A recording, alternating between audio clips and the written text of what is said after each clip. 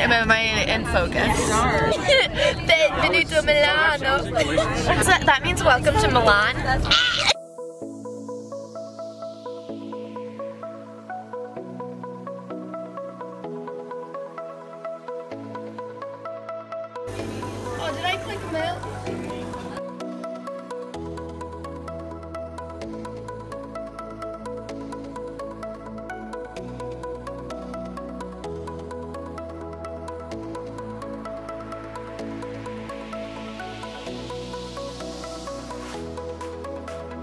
Have you seen anything more Italian than this? We just took some pictures right over there. go there. So if you're lost, I'm leaving and I'm going to the Duomo. You'll see there's a large square and there's like a fountain obelisk in the front. You'll meet me right there. Okay? Don't get lost. I don't want to meet you there. All right? Um, I'm going to talk just a second to kind of set up my talk uh, about St. Augustine. He was, and we'll- talk about this, he was one of the most eloquent preachers in the history of the church. But the way he would prepare for a sermon is he would pray and pray. And then he would study and he would study. But he would not manuscript his sermon. He wouldn't memorize his sermon. He would just go with the flow. And what I wanted to say is sometimes his sermons would go for an hour or even more. So we'll see how this goes. And uh, This place is so cute. Just like us. it's so cold. We made it. We're in Milan.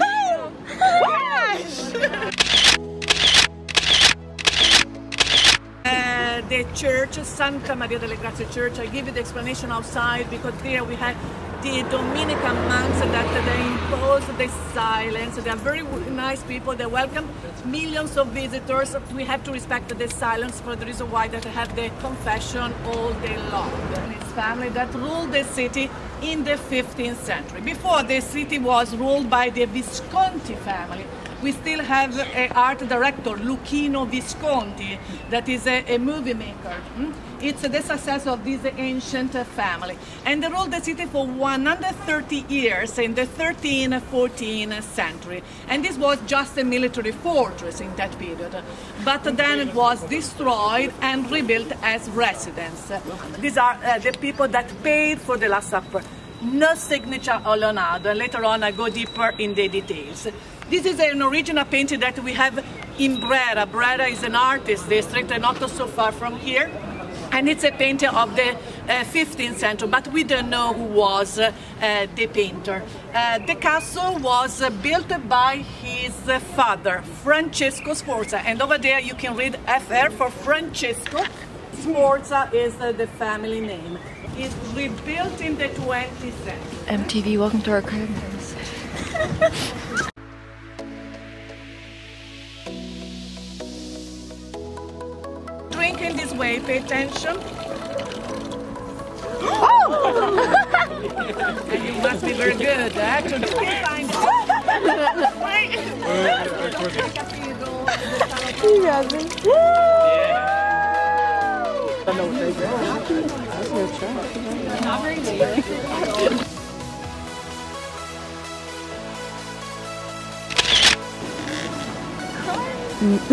when they have a cafe right inside the castle.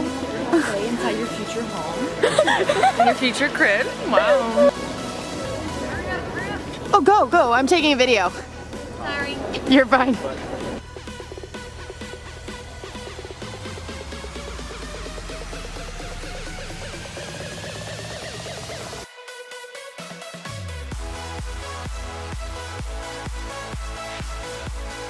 We'll be right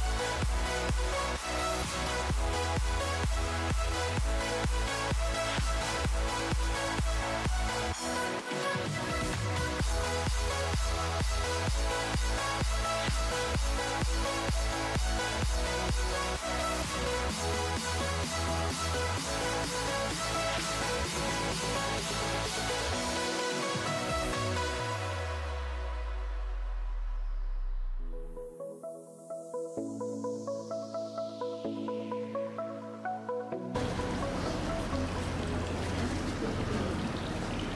I could figure that maze out really easily. Oh, yeah.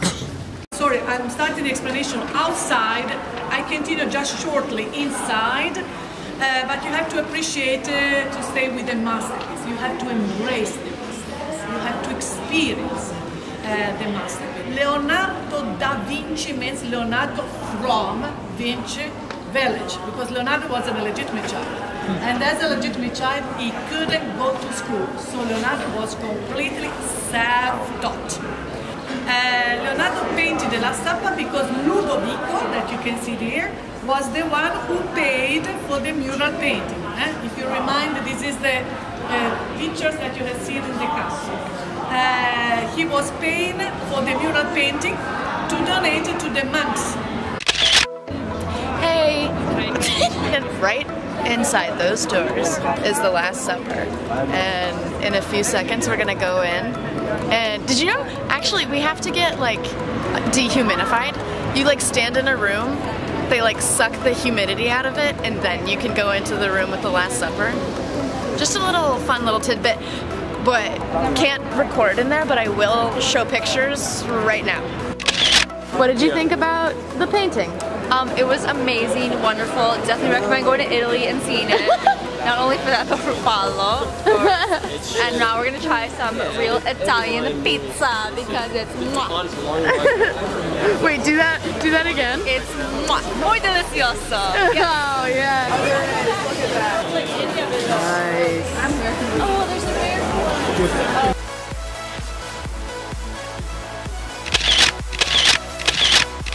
bear. On our way to the bathroom in a McDonald's, We're so excited to use the restroom. but now we're in an elevator. That's where we used to be, but now we're up higher. Yes, there's restroom. Toilets. Yes, I'm so excited. I have so much room on the elevator. So what just happened? So, well, I I don't know. I didn't see the negative one sign, so I guess the bathroom's on, like, in the basement. Oh, but basically, we had to go downstairs immediately after getting off the elevator.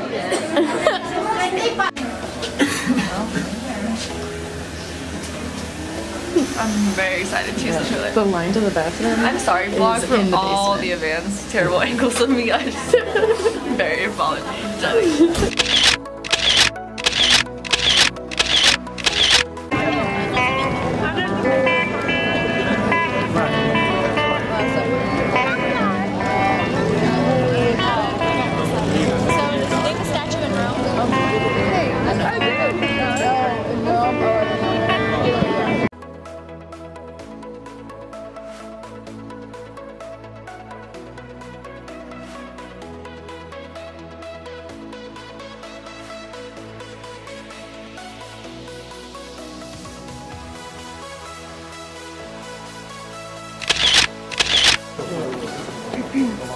So we out here in the cathedral, and we got these cute little necklaces, We're basically security guards. and they connect to our ears. FBI's in disguise. Roger that. Can I hear you? Hello, hello. Yeah, I heard you loud and clear. Uh, over and out. But yeah, we can hear our tour guide through these. But It's really pretty. but the tour is over, so bye.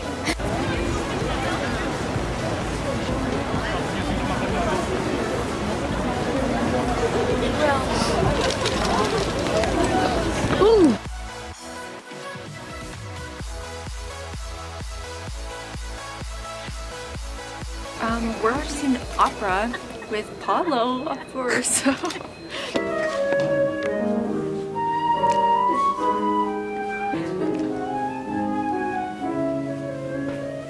Go for it. Do your thing. Wow, did you?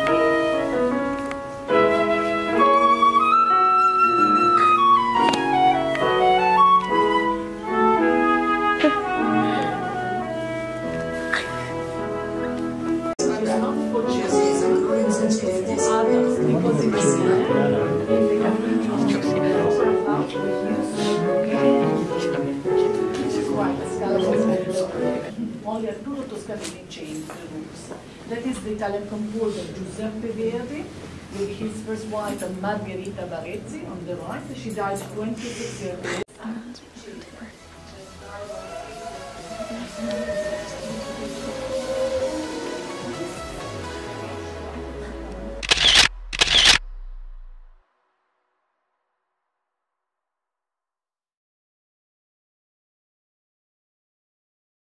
Oh. Are you going to buy that for your mom?